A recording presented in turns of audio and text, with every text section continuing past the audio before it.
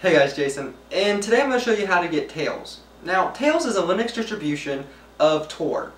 So if you don't know what Tor is, Tor is a system that was developed by the Navy uh, using a thing called onion routing. And the idea is to make you anonymous online by using a client or a web browser. Now, you can go to Tor and you can download the Tor bundle. And the Tor bundle is a little package that you can download to your Windows PC or your Mac or even a Linux distribution. And this software allows you to utilize Tor in its essence. The problem with it is there's a lot of vulnerabilities when you download to an operating system running on a computer. Necessarily an operating system that you use every day. So this new distribution came out a few years ago called Tails. And what it incorporates is the idea of a one-time boot or a basically a one-time boot and then it you know flushes all the memory and all the data that you use in that session on either a CD or the next gen USB or you know a like device. So this operating system not only does it run Tor for you inside its confined Linux distribution, but it also um, spoofs your MAC address and has a couple other interesting features where it can look like Windows or a lot of different features.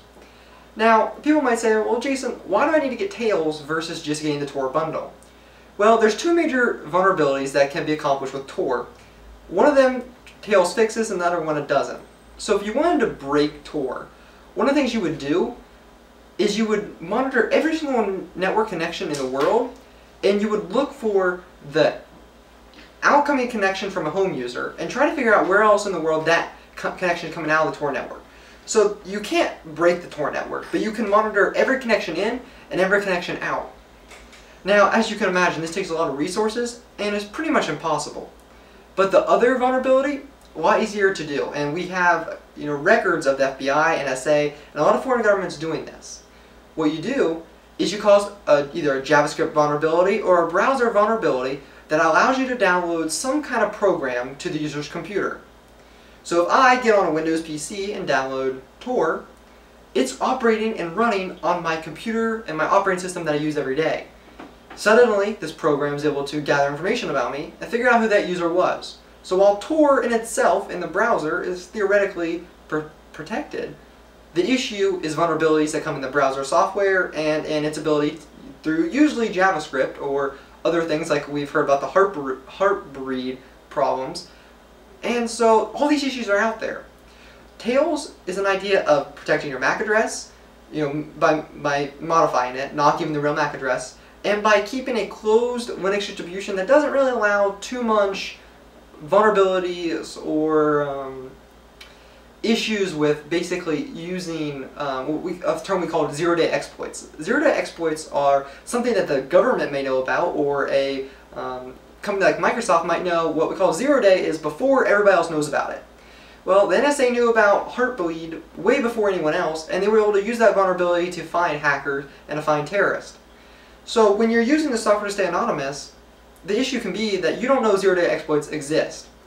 So by using Tails, by using a distribution that is locked down, you're protected. Now, I'm going to show you today how to get this software and how to use this. But more importantly, I'm going to show you why it's important. So let's move over to my laptop. I'm going to show you how do we get Tails, and I'm going to then show you how to download it. So let's get to it. Okay guys, so we're on the computer right now, and I'm going to move around, and you see that I googled and I typed in Tails. I googled for the search term Tails, and the first one we see is Tails, privacy for anyone, anywhere. We're going to click on that link. Now check the web address, and always make sure when you're downloading something that it's HTTPS, and it's tails.boum.org. Now I'm going to go back to the camera real quick, put my headset down, and explain something.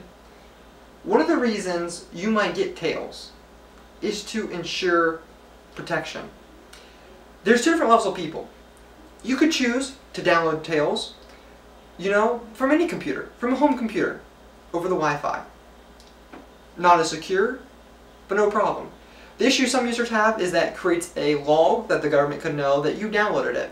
So I will make a side note and recommendation if you are really concerned about your privacy. You could buy a laptop and you could go to a computer at the library, download Tails like I'm going to show you onto a CD like I'm going to show you. Therefore, your IP address is not logged. But the should being, unless you really care about the government or anyone knowing you download this program, which I don't, there's no issue. Even if you're trying to be anonymous, not that big of an issue. So let's go back to Tails, and I'm going to roll down. Now it is a live operating system as it says here, and we're going to go to download Tails 1.2.1. Uh, for the record, this might be updated, it might be a newer version, just because of the fact that, you know, Tails does get updated and you might be watching this later on. Now, it explains first time use, you can, you know, explore that if you want. What we're looking for is the latest release, and we're going to do a direct download just because it's safer that way. Tails 1.2.1, again that can vary the version.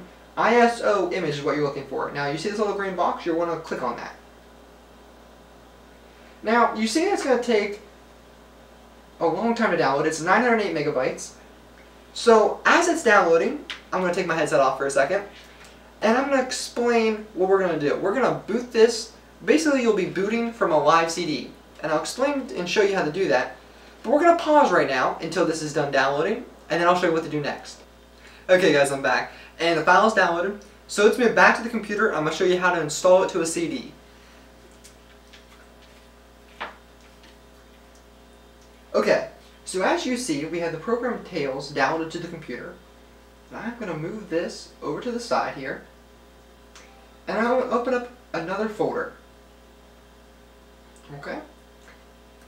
So, most PCs, what you'll be able to do is hover over and click one time with the left button, and then right click one time. And you see how it says burn disk image? Most Windows operating systems and some Macs allow you to do this right simply from the menu. And that's all we'll do. We'll click burn disk image, and it will give us the option. Now in case you don't have this option, I want to tell you what to do. You could go to my computer and go to the DVD drive and you could open it up and you could get a program, an ISO program, burner program, or you could get a way to copy it over. But most computers nowadays, um, and I'm pretty sure, I know I tested this on Vista and I know XP, or not XP, but Windows 7 is doing it right now. You can literally just right click. So we're going to right click on the image and make sure it says Tails and then the version that you downloaded. And you're going to select the, uh, disk burner. If you have more than one, you could choose, but most people only have one DVD burner on their computer. Some people don't even have that anymore. Now, I, I know what you're going to ask. You're going to say, well, Jason, what if I want to get it on a flash drive instead of a, you know, a CD to start off? Well, that is impossible. As of right now, as of the time of this video, you have to download to a CD first. And uh, I think you'll find that, uh, at least my personal preference, I use flash drives all the time, but I find that with using Tails, I like to have them on CDs, and I'll explain that in more in detail in a minute. So we're going to click Burn, verify disk after burning, and click Oh, one quick second. So, because we need a CD to burn, we're going to open up our CD drive. I got one of these, they're, I get them for 50, 50 cents a piece coming with the CD case, and it's a blank CD. I get a DVD-R, and one of the reasons you want to get DVD-R versus a CD-R is because you need at least 4 gigabytes, and DVDs-R's, or DVD-R, has 4.7 gigabytes. And the reason they recommend at least 4 gigabytes is so that when future updates come out, you have more space to update and you know add installers to. So you're not confined to a limited version that would be outdated and have security flaws. So to take my CD, I'm going to put it in. Before I pop this in though, I want to make reference to why I use CDs over flash drives. So I can get a flash drive, an 8 gigabyte, for about $5 on Amazon. You can get it cheaper on you know Black Fridays or flash sales or whatever. And I might pay, you know, when I buy 50 CDs, 25 cents a CD, or I mean a DVD, because that's what I'm using. And you might say, Jason, why would I use a DVD instead of just a flash drive? Well, first of all, defaultly you have to install it to a CD DVD combo anyway. So why not just use it? Well, here's what I do. When I download Tails and I use it on a CD, I use it for maybe four or five days, if that. Sometimes just one-time use if I'm doing something you know heavily security-wise that I don't want any content stored to. Now, Tails officially states that no data is ever downloaded to the CD. That it is everything's booted off that CD, run on the computer's operating system or computer's motherboard and CPU, and RAM, and it never alters anything on the CD. And I believe that. I believe their intention is to provide that. But I'm not saying there's not, there could be a vulnerability out there that would allow an attacker to get past a browser, browser exploit, maybe even a Tails exploit, and add something to that DVD.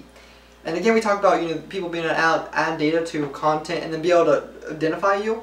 So what I do every few days, every you know four or five days, if I'm going to be using Tails, and I use it very solemnly, but if I'm going to use it after four or five days, put the CD, I break the CD in half, throw one in one trash can, throw the other piece in another trash can, and pause whatever get the data back. It's a secure way. You can't really, you can take a Hammertail flash drive, but even then the microchips can be restored on SSDs. Same thing for a DVD CD, throw them in two different trash cans, your security level just improved vastly. And for 25 cents a CD or DVD, it's not really that expensive. So that, that explains why I use CD-DVD combos and I don't use flash drives for this operation. It also is a convenience factor because you don't have to you don't have to just put it to a flash drive. Although if you like to keep it in your purse or pocket, a flash drive is of course the best option. Let's get back, let's push this DVD into the computer, and let's get back to the computer, I'll show you what to do next. Okay, so like I said, we want to right click on Tails.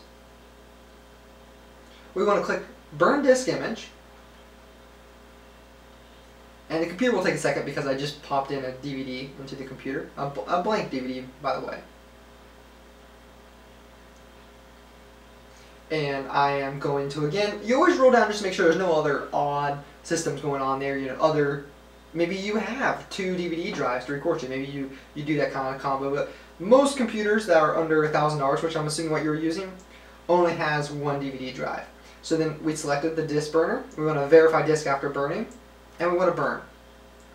Now what this is doing is it's taking the Tails operating system of your computer, or that you've downloaded from their website, and you're installing it to a disk. And when you run a CD or a DVD in your computer and the operating system resi resides on that CD or DVD is called a live boot CD. And so while this is burning to the disk image, I'm going to roll back over to the camera and explain what this process does. So when your computer starts, it loads the, the motherboard and CPU combo, and this is, again, very basic, not 100% accurate, but I'm um, explaining it in a way that my average user can understand. Your computer, your motherboard CPU combo, boots up your BIOS. And this BIOS program then, by default, runs your operating system. Now, most people's operating system is Windows, or in some minute case, if you have a Mac, it's a Mac. And that's about it. So your BIOS automatically registers the C drive on your computer and boots that drive. Well, what happens is, if you put a flash drive that has an operating, a live operating system on it, or if you have a CD DVD that has an operating system on it, and you put it into the computer, and then when your computer's on the login screen, it varies from computer, but for me it's Escape or F12, is a thing called a boot menu. Now a boot menu allows you to boot from that device. Normally, in this case, is what we call a live boot. A live boot is where you're running off that CD or DVD or flash drive or various other sources you could do. You could have it from a hard drive in your computer, which is how it defaultly runs. You boot off this device, and so files are pulled to constantly run that operating system. Uh, it involves a thing called a kernel, which is how it connects, how the processes of the operating system relate to the motherboard, but that's a little bit more in detail, and that's for another discussion. Right now we're waiting on it to burn. It's burning the disk image to a recordable disk. This will take a, um, depending on your speed, DVD drives and CD drives in computers, depending on how much you spend on your computer, vary in their speed and capability. Usually the highest I've ever seen is an X16, and that just means the speed that it can record to. So it is going to take a minute, so I'm going to pause again, sorry for all these pauses, and I'll get back to you when it's done burning. So did you notice what happened? The CD drive popped out a little bit. This is what happens when a computer program, or your computer, is done burning to a disk. Be that if you're burning music, or an ISO image. It pops the disk right out for you. Now, I'm going to shift over here real quick, and if we look at the screen, we see that it shows a complete bar, and all I have to do is press close. You're now done, at least with the computer side of it. So, simply put, open up your CD. If you have to, move your flash drive to the side. Open up your disk drive, And one last thing. If you look at the CD, and I don't know if you guys can see it from here, but you'll see engravement. So you can see how far data went into your CD. You can actually see that your CD has been written on, which I always think is pretty cool, especially with DVDs, because you don't see that with flash drives nowadays. Or ever. so we put this in, and you now have the latest version of Tails. In the next episode, I'll show you how to boot it and what it can do for you. Thanks for watching. This is Jason Schaumleffel.